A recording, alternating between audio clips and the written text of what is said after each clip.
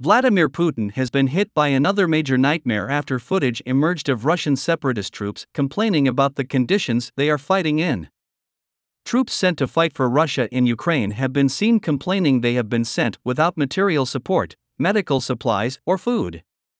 Soldiers claiming to be from the 113th Rifle Regiment of the so called Donetsk People's Republic have been filmed saying they have been fighting for several months, in footage posted on Telegram. The commander can be heard saying, Our company, consisting of the 5th Infantry Battalion of the 113th Infantry Regiment, was on the front lines in the Kherson region of Ukraine. For that time, the personnel overcame cold and hunger, and for a considerable period, we did so without material support, medical supplies, or food. The mobilization of our unit took place without any medical examinations, and there are those among our unit who, in accordance with the laws of the Donetsk People's Republic, should not be mobilized. There are members of our personnel who suffer from chronic diseases and others who are guardians of people with mental illnesses. The commander then asked the higher command interpret our complaints as sabotage. Show respect for your officers.